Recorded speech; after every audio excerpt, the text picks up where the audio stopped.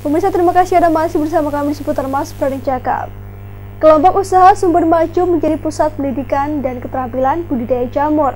Rumah jamur dilengkapi dengan alat pengatur suhu yang dihubungkan dengan handphone dan sehingga meskipun berada di luar kota, masih bisa mengontrol suhu udara yang ada di dalam rumah jamur. Produksi jamur pun dikemas berbagai varian rasa dan pemasaran kini pun hingga ke luar negeri. Pembina Pramuka Kabupaten Cilacap sekaligus anggota DPR Republik Indonesia, Hajah Teti Rohatiningsih meninjau pusat pendidikan dan keterampilan budidaya jamur tiram sumber maju di desa Dondong, Kecamatan Kesugihan, Cilacap.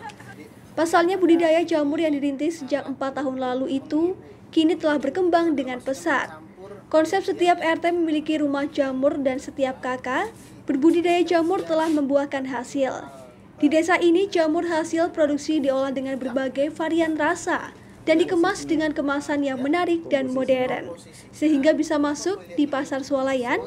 Selain setelah mendapatkan izin edar dan sehat, pesanan pun datang dari dalam dan luar negeri. Sejak menjadi pusat pendidikan dan keterampilan budidaya jamur, kelompok usaha Sumber Maju kini telah membudidaya berbagai jamur yaitu jamur tiram, jamur kuping, dan jamur merang.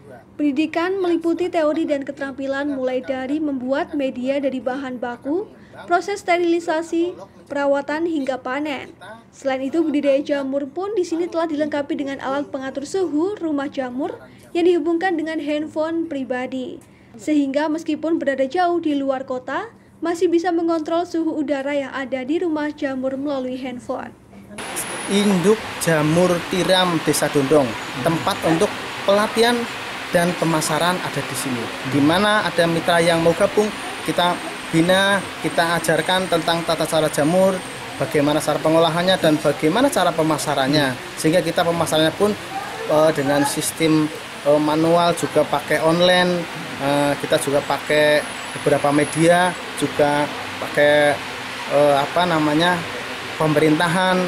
Kita itu sudah semua kita jalankan demi jamur tiram hasil dari dondong ini bisa laku bukan hanya di dalam kota atau luar kota tapi mancanegara. Dari Cilacap, Ramiana Banyumas TV melaporkan.